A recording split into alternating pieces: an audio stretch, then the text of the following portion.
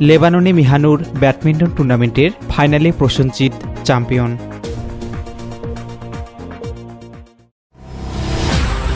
আপনারা দেখছেন M K television.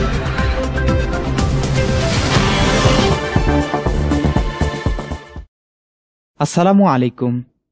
এমকে টেলিভিশনে নিয়মিত খেলার সংবাদে আপনাদের স্বাগত জানাচ্ছি আমি এস রহমান।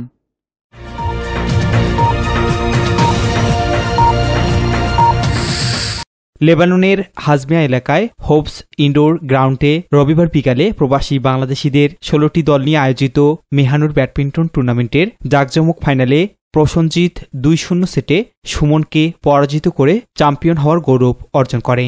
পরে তাদের হাতে চ্যাম্পিয়ন ও রানার্স আপ ট্রফি সহ আয়োজক কমিটির সকল নেতৃবৃন্দদের মেডেল উপহার দেন আমন্ত্রিত অতিথিবৃন্দ।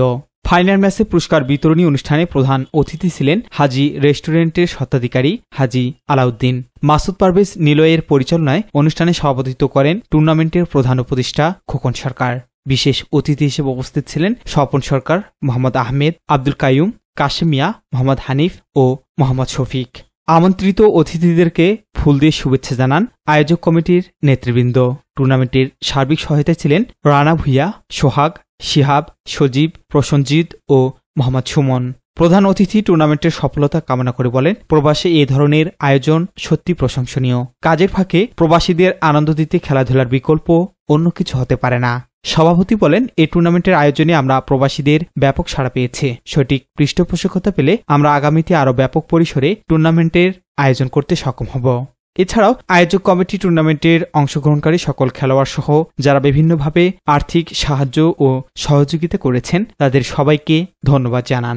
আজকে লেবানন প্রবাসী কিয়ামতি ভাইয়েরা একটি ব্যাডমিন্টন টুর্নামেন্ট আয়োজন করেছেন।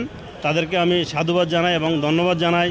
খুব সুন্দর একটি আয়োজনের জন্য খুব সুন্দর একটি খেলা আমরা দেখে উপভোগ করে খুব আনন্দিত হয়েছি এবং আমি আশা করব আগামীতে আমার এই প্রাণপ্রিয় ভাইয়েরা যেন ভালো এর চেয়ে ভালো কিছু উপহার দিতে পারে।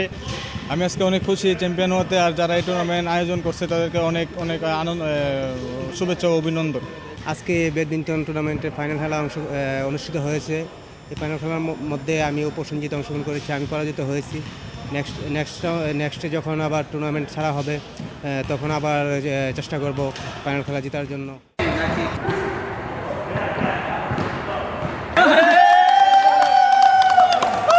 দর্শক এমকে টেলিভিশন সংবাদের বিস্তারিত জানতে ভিজিট করুন নেট এই ঠিকানায়। এছাড়াও, সংবাদ ও অনুষ্ঠানের সব ভিডিও পেতে সাবস্ক্রাইব করুন YouTube dot com slash MK television net এবং Facebook dot com slash MK television page শেষ করছি এমকে টেলিভিশন সংবাদ। এতক্ষণ সাথে থাকার জন্য আপনাদের সবাইকে অনেক অনেক ধন্যবাদ। পরবর্তী খেলার সংবাদ দেখার আমন্ত্রণ জানাচ্ছি এস রহমান, এমকে টেলিভিশন।